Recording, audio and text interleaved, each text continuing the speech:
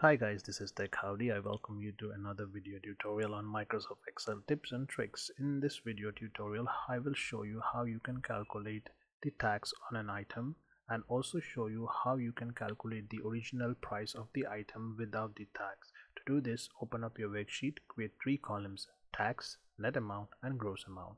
In the tax amount column, enter the tax percentage that you want to calculate on the product. So in my case I'll use 13% you can enter your own percentage here.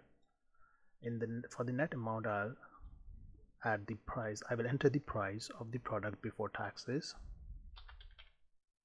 For the gross amount now I will use the following formula which the gross amount will include the price of the product with taxes.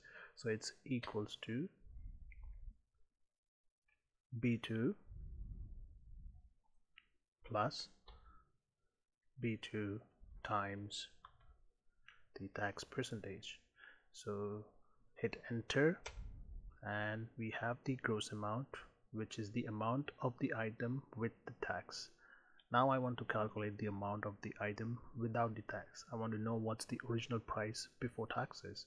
So my tax percentage is 13 my net amount is the amount that I need to find out.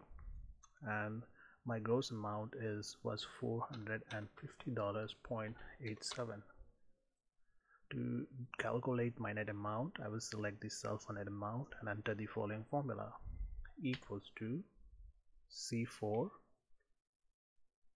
divide by open parentheses 1 plus A4 that's my percentage for tax. Close the parentheses and hit enter. This will give me the amount of the product before taxes. And this formula here on within the gross amount cell will give me the price of the product with tax. This is how you calculate the taxes for the products. Thank you for watching